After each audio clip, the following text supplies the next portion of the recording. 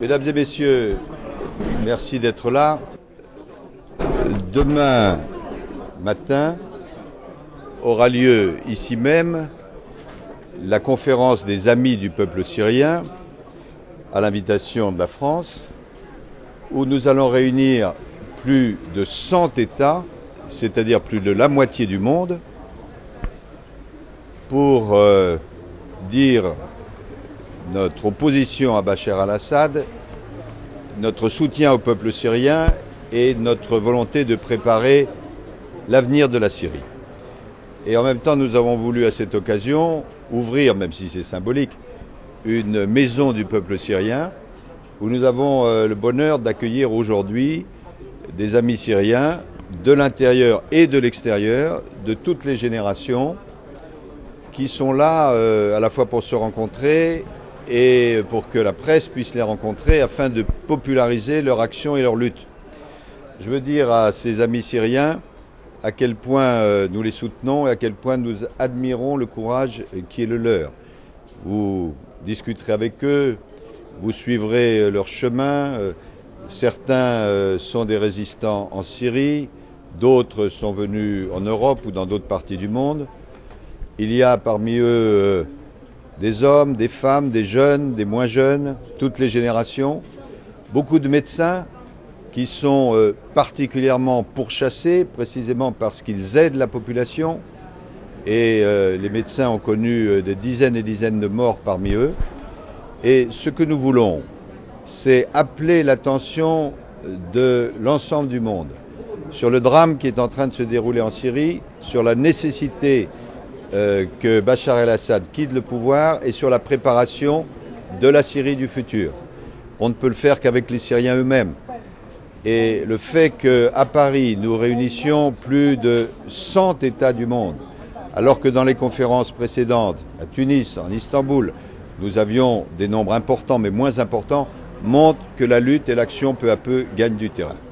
Donc je veux dire à nos amis syriens que non seulement la France, bien sûr, mais beaucoup, beaucoup de pays dans le monde et euh, l'opinion internationale est à leur côté.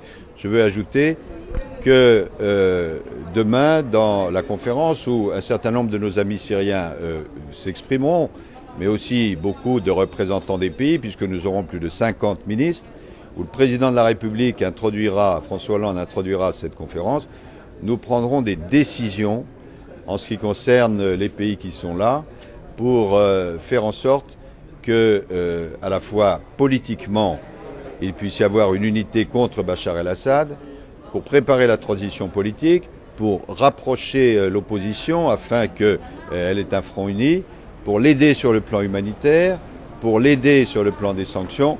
Bref, une conférence qui doit avoir des résultats concrets.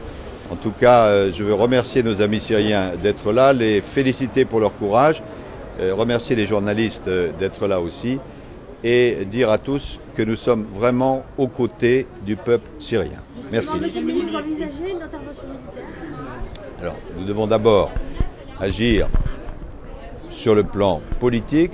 Vous avez vu que la semaine dernière, à l'invitation de Kofi Annan, qui est l'envoyé spécial des Nations Unies et de la Ligue arabe, euh, les cinq membres permanents du Conseil de sécurité des Nations Unies, plus quelques autres nations, se sont réunis et ont adopté un texte commun.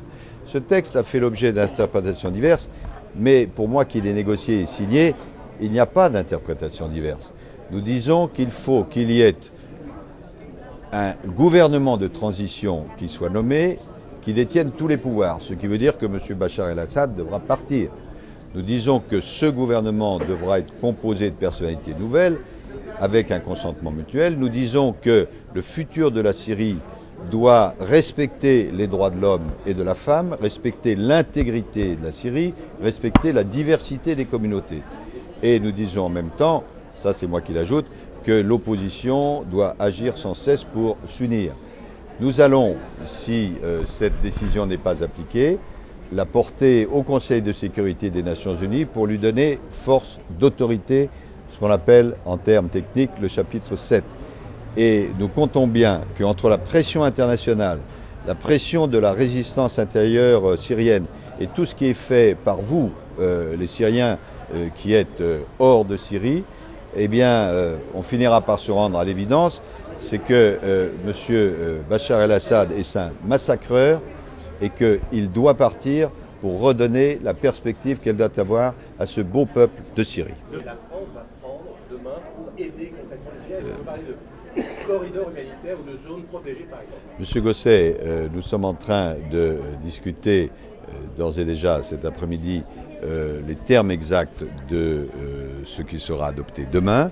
Donc je ne veux pas euh, préjuger de la discussion qui aura lieu cet après-midi, mais l'idée maîtresse, vous l'avez bien comprise, c'est que cette conférence soit utile et avec des résultats concrets sur le plan humanitaire bien sûr, sur le plan des soutiens à l'opposition syrienne et sur le plan politique et aussi sur le plan des sanctions. Donc c'est l'ensemble de ce registre que nous couvrons. On est clairement un pas en arrière par rapport à la semaine dernière, dans la mesure où demain il n'y aura ni les Chinois ni les Russes. Est-ce que vous considérez que c'est pas un pas en arrière? Pas du tout. Euh, la semaine dernière, même si les interprétations étaient différentes, nous avons fait un pas en avant. Pourquoi? Parce que c'était la première fois que nous adoptions un texte, l'ensemble des membres du Conseil permanent de sécurité. Après, un certain nombre d'interprétations sont revenues en arrière, mais la réalité est là. Euh, tout le monde comprend que Bachar al-Assad doit partir. Aujourd'hui, c'est euh, demain plutôt, c'est une réunion d'une nature différente. Ce sont les Syriens eux-mêmes qui sont là. Les personnes qui m'entourent sont des Syriens. Les uns de l'intérieur qui sont venus parfois au péril de leur vie, les autres qui habitent soit en France, soit dans l'ensemble des pays du monde. Et ils vont s'exprimer devant la moitié de la communauté mondiale. Les Russes et les Chinois étaient invités bien sûr, mais nous savions euh, par définition qu'ils n'étaient pas là mais le secrétaire général de la Ligue arabe sera là, mais l'envoyé euh, du euh, secrétaire général des Nations Unies sera là. Mais j'aurai à mes côtés Hillary Clinton, j'aurai à mes côtés le ministre des Affaires étrangères turc. Les gens à convaincre doivent comprendre, enfin les gens, les gouvernements, je pense que l'opinion internationale a compris depuis longtemps ce que c'est qu'un dictateur. Mais il y a encore des pays à convaincre, mais j'entends souvent de leur part l'argument mais nous voulons éviter le désordre. Parce que après M. Bachar al-Assad, il risque d'y avoir du désordre. Mais le désordre, et c'est un mot faible, il est là. C'est pas seulement le désordre, c'est le scandale absolu. Et si l'on veut donner un avenir à la Syrie, qui doit redevenir une terre de paix comme elle veut l'être, il faut que M. Bachar el-Assad parte. Et ce langage-là doit être compris. Kofi Annan sera représenté demain, en est le porteur, et nous, nous sommes au soutien de cette démarche. Merci à tous.